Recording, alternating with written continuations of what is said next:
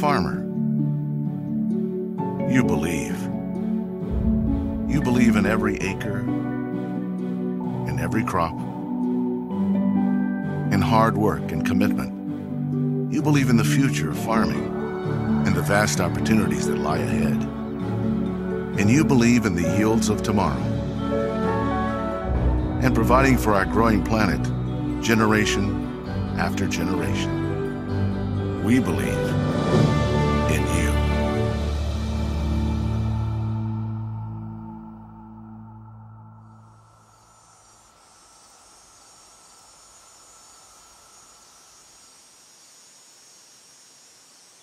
Most farmers um, in America have, have bought in to Monsanto's advertising and uh, they believe that this is this is what will keep American agriculture uh, productive.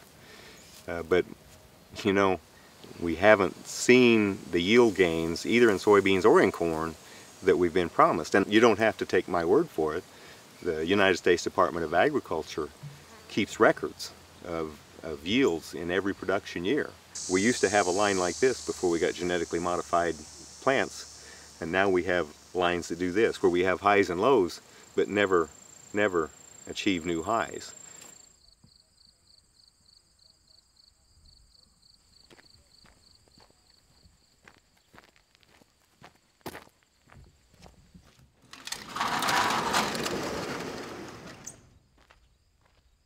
People said, well, why don't you try it? It's easy. I'll never forget that. It's easy.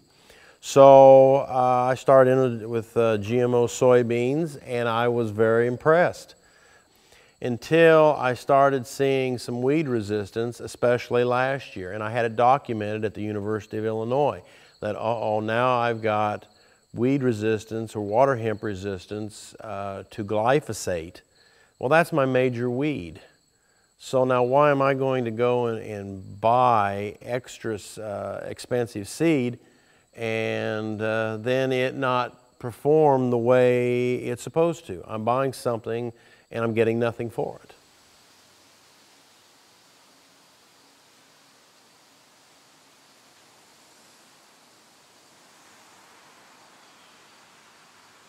Now, over the years, in the time that we've grown Roundup Ready soybeans, we've seen an increasing reliance on heavier and heavier applications of chemicals. This year uh, was probably our worst experience uh, because a, a, lot of farmers, uh, including us, learned that uh, we weren't going to be able to control a lot of the weeds in our fields with just glyphosate or Roundup alone. And so we were forced to use other chemicals on top of that. And, our, and uh, the cost of weed control this year was drastically higher than what we've seen in the past simply because it's taken more trips over the field, more applications of herbicides to control weeds.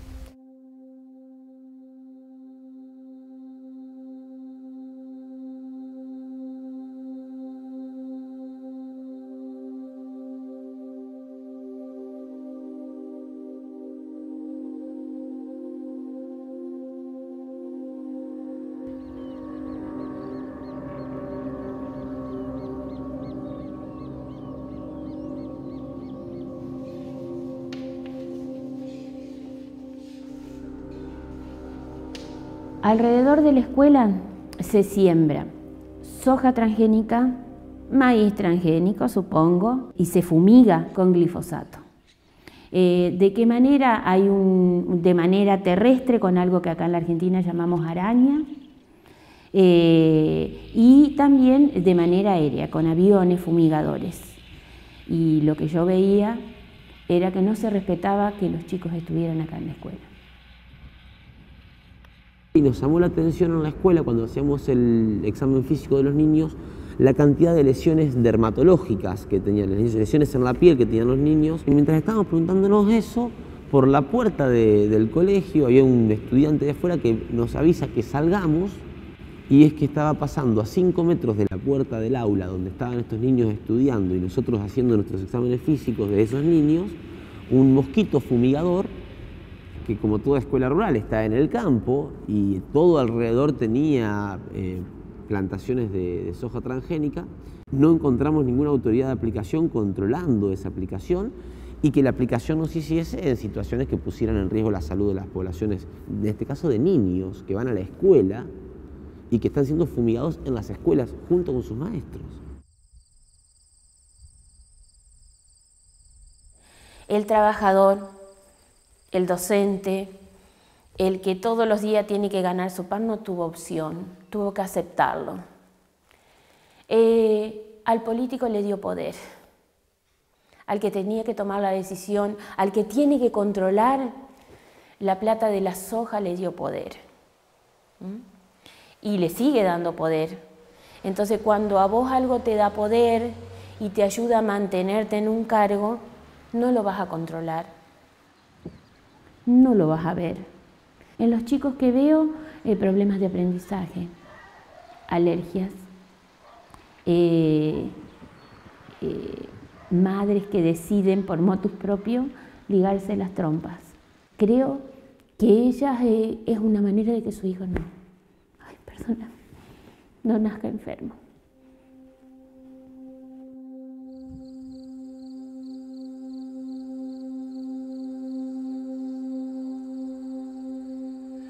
The people out here that are raising questions about the safety and not just the immediate safety, we're all still walking around, but the long-term effects of glyphosate in the soil. If there's something out here that we don't know about, if there's something out here that's not being told us, if we've been lied to, we need to know this stuff. There are a lot of health risks that have been associated over time, different forms of cancers, um, Parkinson's disease, um, for people who live on these farms, work on the farms, the families. So there are a lot of concerns about that, especially for children. And um, you know, that has, of course, long-term ramifications, which I think aren't even accounted for uh, many times. The soil suffers, it, it, becomes sort of crispy and burnt sometimes. Um, of course, the biodiversity of an area is is reduced because of the, this sort of use. Um, and you know, it just destroys rural communities very slowly. But the, the lack of choice is, really makes it difficult for a lot of farmers.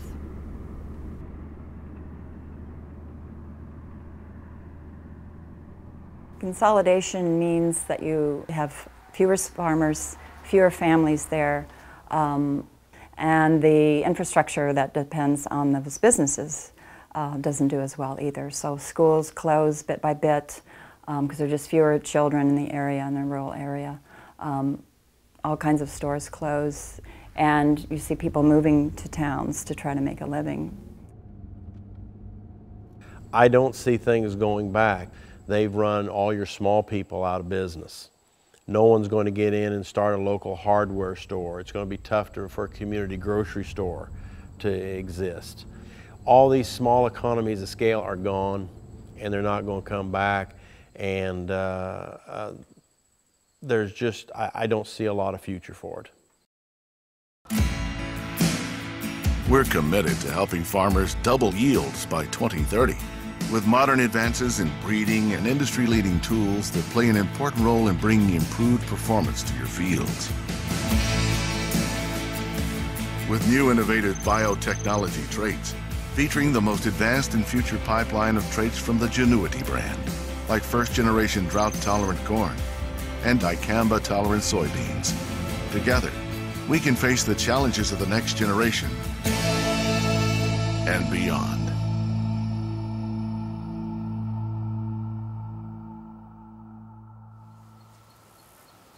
When the, the issue of seed patents first came out, I think, I, like most farmers, I didn't really understand what the true issues were.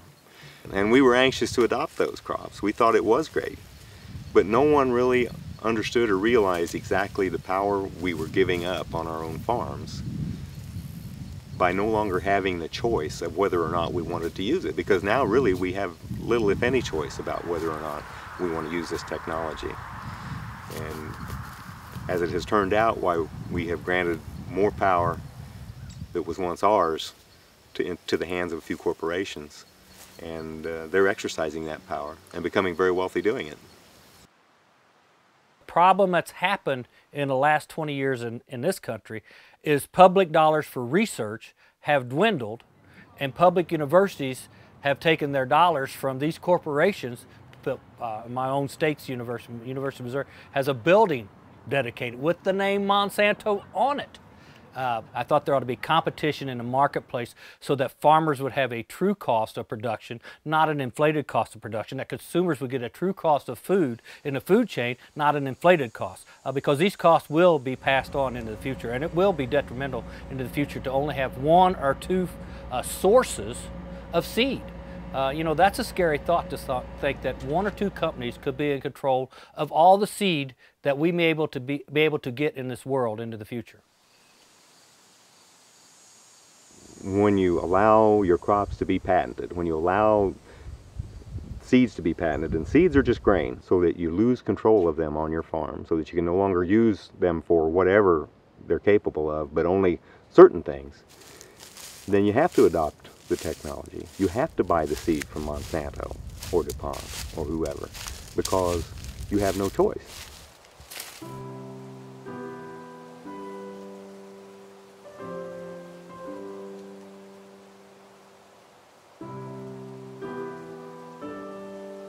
Vivir en, medio del corazón sojero transgénico como es nuestra región, eh, ser las únicas personas en la localidad que nos volcamos a otra producción, otra alternativa y sobre todo no usar agroquímicos, fue un gran desafío. Eh, la mayor dificultad es eh, hacer valer mis derechos. No, no hay leyes que penalicen al vecino que fumigó, eh, no hay solidaridad con los vecinos hacia un productor eh, alternativo como en el caso nuestro.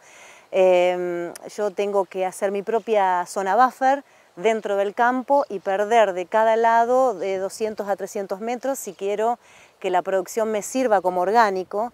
Eh, de otra manera me serviría solamente como convencional, o sea que ese cereal no habría un sobreprecio. Eh, nunca logré que eh, los vecinos dejaran de, fumigar, eh, incluso con viento.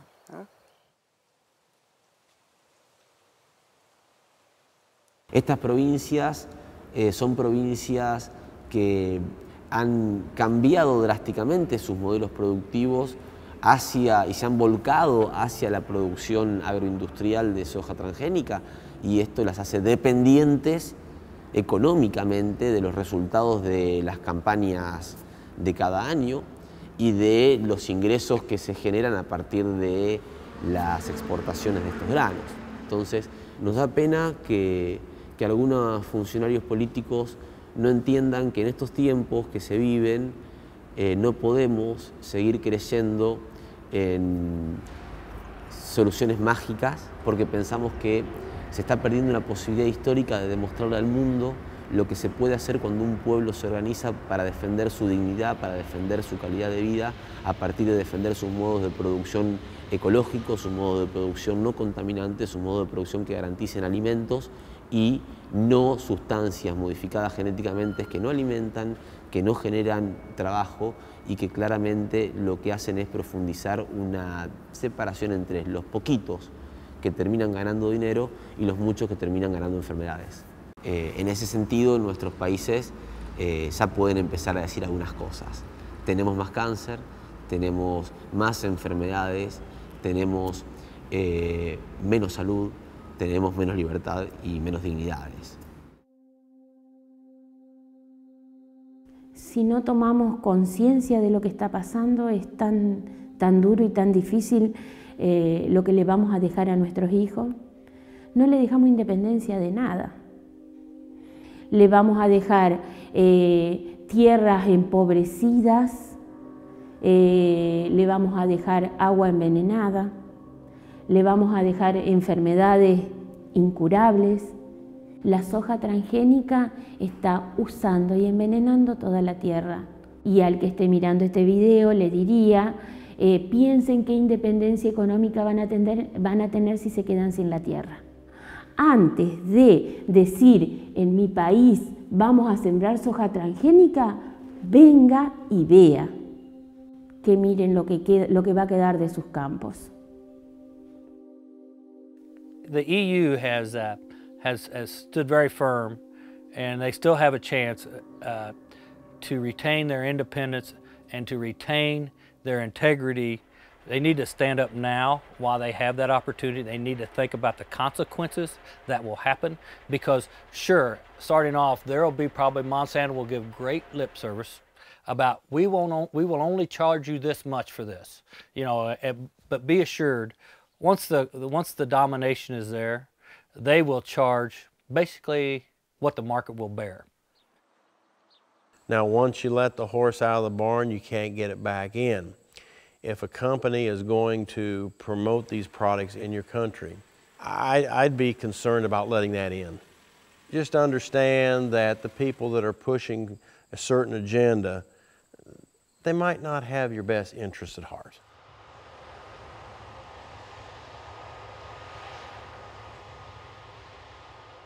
If I had the opportunity to, to grow non-genetically modified crops, again, like we had 10 years or so ago, that's the technology that we would go back to, the old technology, which is no technology at all. The faith in nature and, and the faith in plant breeders to be able to select plants for their, for their best attributes so that they're the most productive.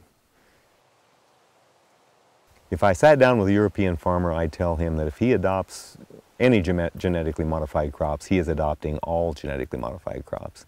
And he is leaving behind any opportunity to grow the old crops ever again because once those patents come into your country, everything changes.